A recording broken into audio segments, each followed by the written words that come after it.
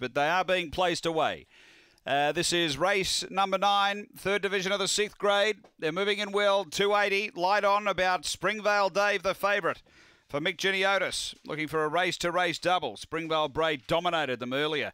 Away they go. Good speed in the middle from uh, who's charging through, headed off by Wilcott, who darted away. A length and a half on Springvale Dave, and about seven or eight away Arrested. Uh, then came 90 Mile Kobe, Frankie's Dream, and Emerald Coast. But up front, Springvale Dave able to drive away now from Wilcott. Uh, then came Arrested, but Springvale Dave brings up the double for Geniotis. Springvale Dave first, second Wilcott, uh, who plugged home well at the big odds. Uh, beats home arrested. So it was in third spot. Then 90 mile Kobe, Emerald Coast, and uh, Frankie's Dream. Time is 22.92.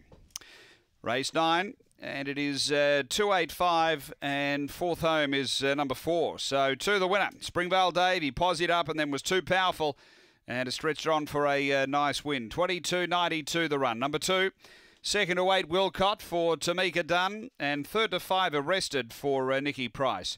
2854 after race nine here at Gawler Greyhounds.